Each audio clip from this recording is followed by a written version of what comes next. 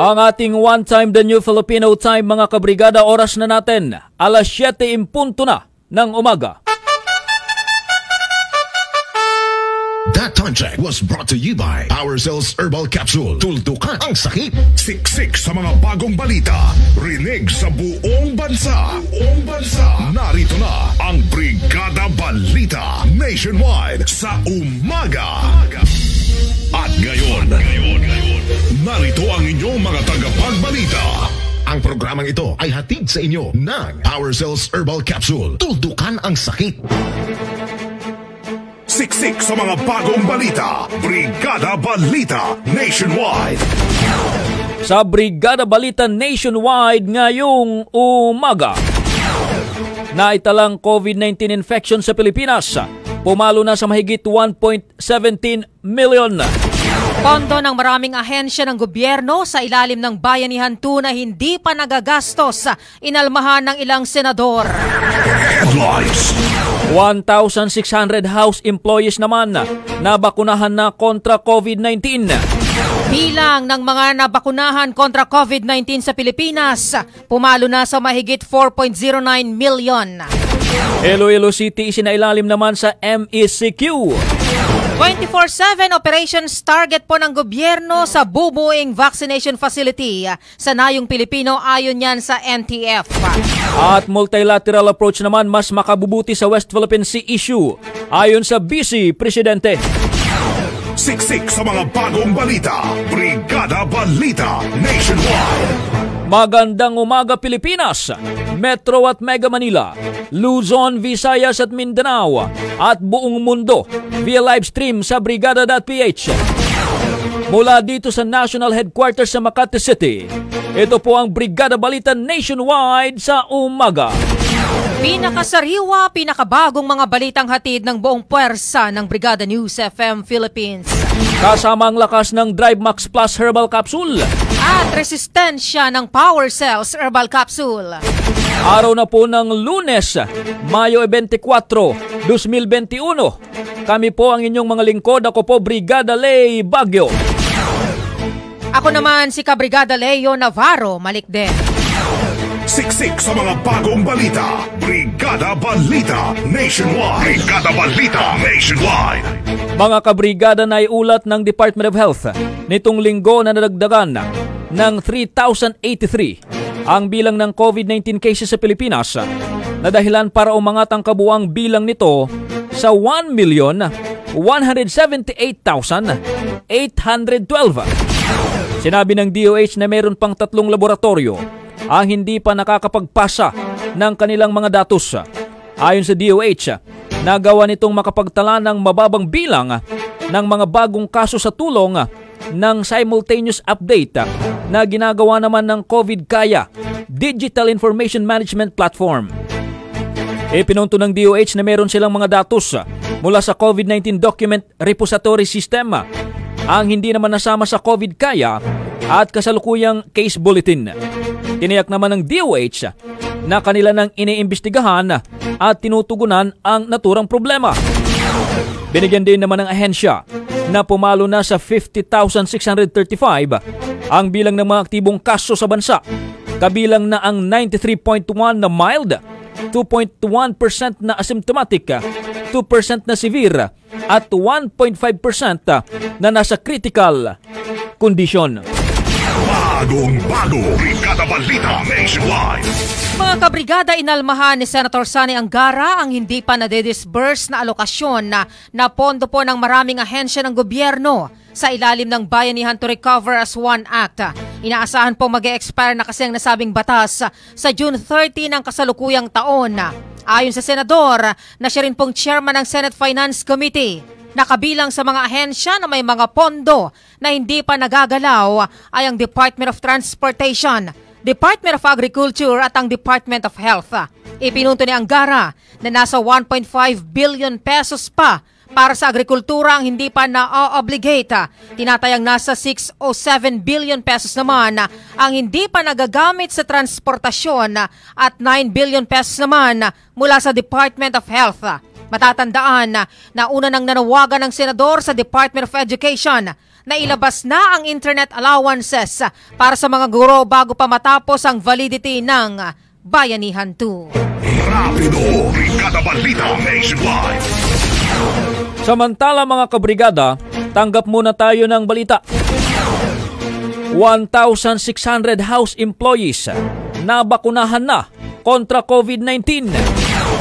Si Kabrigada Ernie Napukaw sa detalye po ng balita Kabrigada Ernie.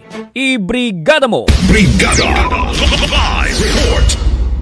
Inanunsyo ni Batahan Representative Jose Enrique Garcia III na nabakunahan na kontra COVID-19 ang nasa 1,600 na empleyado ng House of Representatives mula nang magsimula ang in-house inoculation drive ng kapulungan noong Mayo a 11. Sinabi ni Garcia na head ng House uh, Congvax program na target nila na mabakunahan ng 25,000 empleyado kasama na ang kanilang mga pamilya. Ayon kay Garcia, kabilang na sa mga nabakunahan ay ang mga nasa ilalim ng A2 at A3 priority list o senior citizens at mga tao na may comorbidities. Tinatayang nasa 50 million pesos ang alokasyon para sa vaccination ng House members at ng mga dependents nito. Samantala, inihayag ng mambabatas na nagawa ng House of Representatives na makapag-secure ng Novavax vaccine na doses na minanufacture sa India. Umaasa naman si Garcia na darating na sa July ang mga in-order nilang eh, bakuna. Yan ang report atid ng Yamivit, Batang Lamang.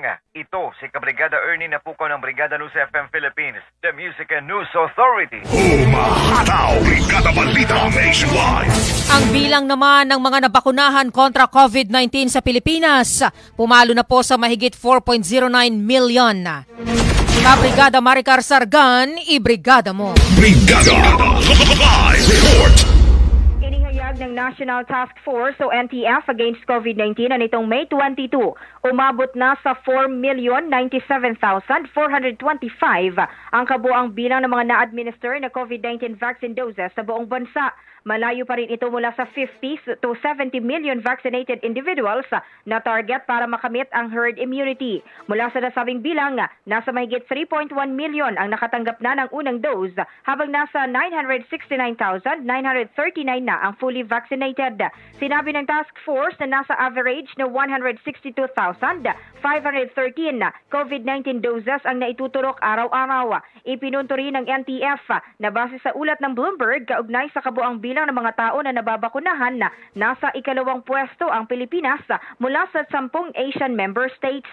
Iginiit rin ng task force na nasa ikatatlabintatlong pwesto naman tayo mula sa 47 bansa sa Asia at ikatatlumputpito mula sa isang daan at siyam anim na bansa sa buong mundo. Noong Sabado, sinabi ni Vaccine Czar Secretary Carlito Galvez Jr. na naitala ng Pilipinas ang pinakamataas na daily vaccination rate nito noong May 20 kung saan umabot sa 229,769 ang bilang ng administered doses. Yan ang report hatid ng Drive Max Adult Herbal Capsule Tatagil ka. Ito si Kabrigada Maricar Sargan ng Brigada News FM Philippines, The Music and News Authority. Brigada Balita Nationwide. Samantala mga kabrigada, ang Iloilo City is nailalim naman sa MECQ. Si Brigada Jen Bayot sa balita ka Brigada Jen, ibrigada mo! Brigada Live Report.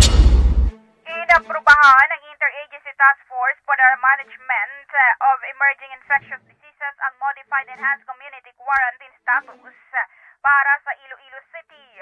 Mababasa sa resolusyon ng IATF na nakapost sa social media pages ng Iloilo City Government na ipatutupad ang MECQ sa naturang lungsod simula May uh, 23 hanggang May 31. Nagdesisyon ng IATF na isa ilalim ang Iloilo City sa MECQ dahil na rin sa apila ng lokal na pamahalaan. Dating nasa ilalim ng mas maluwag na General Community Quarantine ang lugar. Samantala, iniutos naman ni Mayor Jerry Trenas ang pansamantalang pagpapasara at suspensyon ng operasyon ng Iloilo City Hall simula ngayong araw May 24 para magbigay daan sa decontamination at mass testing ng mga tauhan nito. Inihayag ng alkalde na kailangan niya itong gawin matapos makumpirma ang 26 na kaso ng COVID-19 kabilang na ang dalawang namatay mula sa mga empleyado ng City Hall simula May 1 hanggang 22. Yan ang report hatid sa atin ng Guard si Calcium Ascorbate, katawang healthy achieve sa Guard City. Ito si Kabrigada John Bayot ng Brigada News of Philippines, the Music and News Authority. Siksik sa mga bagong balita. Brigada Balita Nationwide. Samantala mga kabrigada, target ng gobyerno na gawing 24-7 ang operasyon ng vaccination facility na plano nitong buuin sa loob ng nayong Pilipino.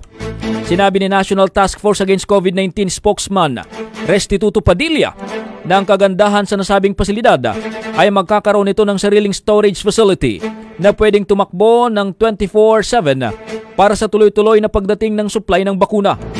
Umaasa naman ang gobyerno na magiging handa ang nasabing proyekto sa loob ng isang buwan at kalahati sa kabila ng pagtanggi rito ng Nayong Filipino Foundation. Ipinunto naman ni Vaccine Sar Carlito Galvez Jr. na hindi pa pumipirma ang NPF Board of Trustees sa kasunduan kasamang NTF against COVID-19 para naman sa konstruksyon ng naturang pasilidad.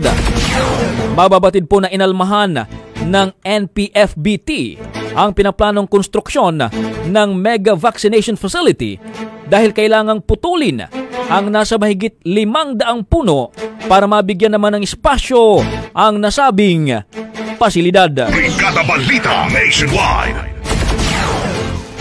Mga kabrigada, naniniwala si Vice President Leni Robredo na hindi mapoprotektahan ng Pilipinas ang mga interes nito sa West Philippine Sea sa bilateral talks kasama ang China. Ayon kay Robredo, matagal nang sinasabi ng mga eksperto na hindi makakatulong sa atin ang bilateral talks sa China dahil mas maliit na bansa ang Pilipinas. Iginit ng pangalawang pangulo na hindi patas ang katayuan ng dalawang bansa. Noong 2016, uh, isinusulong pa ni, ng Vice Presidente ang multilateral approach kung saan ay hinihimok niya ang gobyerno na makipagtulungan sa ibang mga bansa. Kumpiyansa ang Vice Presidente na magiging patas ang laban kung magkakaroon ng Pilipinas ng mga kaalyado na may parehong hinaing laban sa China. Iginit pa ni Robredo na dalawang araw matapos ang virtual meeting ng mga opisyal ng Pilipinas at China para sa sixth engagement ng bilateral consultation mechanism on the South China Sea. Matatandaan na itinatag ni na Pangulong Rodrigo Duterte at Chinese President Xi Jinping ang BCM nang sila ay magpulong noong 2016. Brigada Balita Nationwide. Brigada. Brigada Worldwide COVID-19 News Update. Brigada Worldwide COVID-19 COVID-19 News Update. Samantala mga kabrigada, na-detect ng Thailand ang unang local case nito ng COVID-19 variant na nadiskubre sa South Africa. Taglay ng South African variant na kilala bilang B1351 ang mutations na banta sa efficacy ng COVID-19 vaccines batay sa resulta ng maraming pag-aaral. Batay naman sa report ng COVID-19 Network Investigations Alliance, ang unang natukoy ang variant sa tatlong test samples mula naman sa cluster ng infections na posibleng may kinalaman sa illegal migration sa timog na bahagi ng Thailand. Sinabi ng Alliance na posibleng makaapekto ang variant sa human immunity response mula sa virus habang binababaan ang pagkaepektibo ng mga bakuna. Nilinaw naman sa report na hindi ibig sabihin nito na hindi nagagana ang mga bakuna. Na-detect ng Thailand ang South African variant noong February 15 sa isang lalaki na Thai national na naglakbay naman mula Tanzania at nalagay sa ilalim ng mandatory quarantine sa kanyang pagdating. Mababatid na naitala ng Thailand ang nasa 3,052 na bagong kaso at uh, tat o 24 uh, na karagdagang nasawi naman noong Sabado na dahilan para pumalo ang kabuang bilang ng mga kaso sa 126,000 at ang death toll nila ay nasa 759. Siksik sa mga bagong balita. Brigada Balita Nationwide. Brigada Weather Update.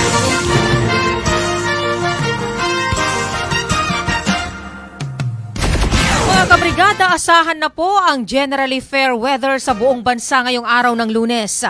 Ayon sa pag-asa, magiging maalinsangan ang panahon dahil sa epekto ng easterly sa Metro Manila at sa nalalabing bahagi po ng bansa. Pero sinabi ng Weather Bureau na posible pa rin ang pulupulong pag-ulan na maaaring magdulot ng pagbaha at pagguho ng lupa dahil sa epekto ng localized thunderstorms. Inaasahan naman na maglalaro sa pagitan ng 26.5 hanggang 34.8 degrees Celsius ang temperatura ngayong araw.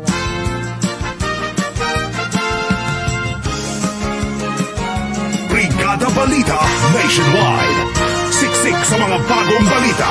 Brigada Balita Nationwide. At mga kabrigada sa atin namang uh, foreign exchange rate update ngayong araw po ng lunes. Magsisimula po ang palitan US dollar sa piso 47.92 pesos.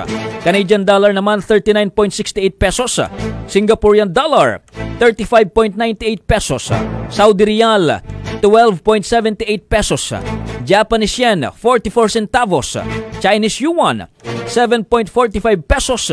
At sa euro 58.35 pesos. Siksik sa mga bagong balita. Brigada Balita Nationwide. Ang galaw nyo man ay mabilisan. Sa mga bagong balita, hindi ka mapag-iiwanan. Hindi ka. Brigada Balita Nationwide. Nationwide. Sa umaga. Brigada Balita sa umaga. Mga kabrigada, para sa mga latest na balita, huwag kalimutan mag-subscribe sa YouTube channel ng Brigada News Philippines. Siksik sa mga bagong balita. Brigada Balita Nationwide.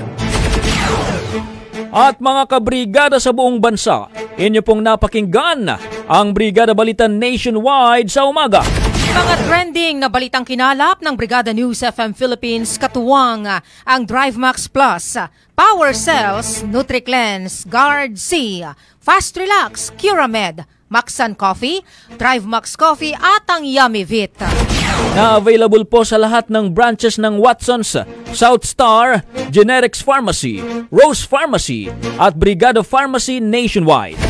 Para sa Brigada News FM ng Brigada Mass Media Corporation, the biggest marketing media company in the country.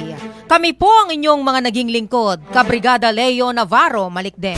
At ako naman Kabrigada Lay Bagyo. Maraming salamat po sa pakikinig. Mula dito sa National Headquarters sa Makati City. Ito po ang 104.7 Brigada News FM, The Music and News Authority. Brigada Balita Nationwide.